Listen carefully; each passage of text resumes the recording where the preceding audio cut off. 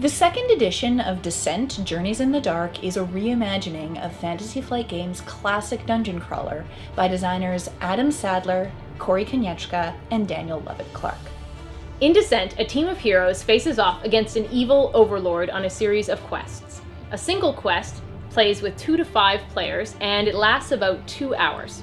There aren't any expansions to this particular edition, but there is the conversion kit, which allows you to bring characters from the first version forward into this game. So players start Descent by choosing a quest and making one player the Overlord. The Overlord is then going to set up the starting map, tokens, and monsters for that quest, and reading out the victory conditions for both sides. Each quest is going to consist of two encounters that play out one after the other. The other players each choose a character and a class that matches that character's hero archetype. They collect their character sheet, activation card, and skill and item cards and place their miniature on the board. Each round of Descent consists of a hero turn and an overlord turn. At the start of each hero turn, the hero players get to decide which order they're going to act in. Then the first player begins by making any changes they want to their equipped items while respecting item slot requirements. Next, they take any two actions from the following list move, attack, use a skill, rest, search, stand up, revive, open a door, or a special action. They can take two of the same action in a turn. So a hero can move a number of spaces that's equal to their listed speed, and you can also split up a movement with another action. This means that, for example, a hero with a speed of 4 could move two spaces, then attack, and then move two more. To attack, a player rolls the colored dice associated with their weapon. A melee weapon can attack squares adjacent to the character. If you have a ranged weapon, you can attack any target within line of sight. So if the attacking player rolls the X on the blue die, then they miss. In order to hit with a ranged attack, they have to roll a range number that's equal to or greater than their distance from the target. If the attack succeeds, it deals damage equal to the number of hearts that were rolled. Any surge symbol that's rolled is going to trigger special weapon effects that might initiate a condition, let you deal extra damage, or force defense die rerolls. The defender rolls defense dice indicated on their character sheet or monster card. They have to roll enough shields on those dice to counteract the amount of hearts rolled on the attacker's dice. Any hearts that are not cancelled by shields count as damage, so you take damage tokens for those. If you get as many damage tokens as you have health points, then as a character, you're knocked out. As a monster, you're killed. So a knocked out hero immediately takes full damage and full fatigue.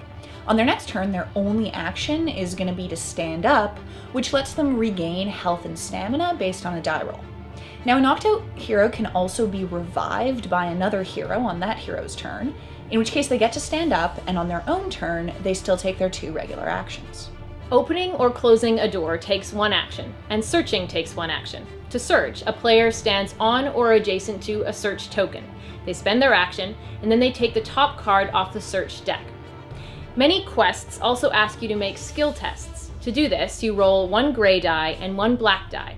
If you get a number equal to or less than your skill value, then you pass the test. Any special ability or skill that's marked with an arrow costs an action and will usually also have a fatigue cost.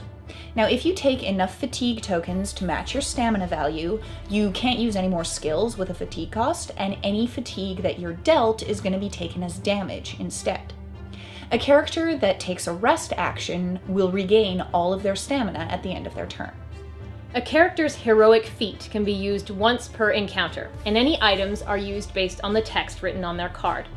Once a hero has taken their two actions, they turn over their activation card and it's the next player's turn. So after all the heroes have gone, the Overlord starts by placing new monsters on the board according to the quest rules and drawing an Overlord card. These cards give the Overlord special powers that they can use at any point during their turn. They're then going to activate all of their monsters in groups, so each monster of the same type is going to take two actions in turn. Monsters can take the same actions as heroes, except that they can only attack once per turn, and they can't stand up or revive another monster. The turns alternate between the Overlord and the heroes until one side completes their objectives. Between encounters, heroes keep all of their damage but regain their stamina. Overlords keep all of their cards. The winner of the second encounter wins the quest. So Descent also has rules for a campaign mode where players gain new skills and new items in between quests, as well as an epic variant that makes for more challenging one-off quests. So, in comparison with the first edition of Descent, the second edition is much simpler. It's got a much more condensed gameplay, it's smaller box even. It's quicker to play. You're going to be able to get through an entire quest, so two encounters in about two hours, which is a big change from the last version. So, it's quite simple to learn. You're going to end up getting right to the fun, right to the meat of this game very quickly, which you're really going to like.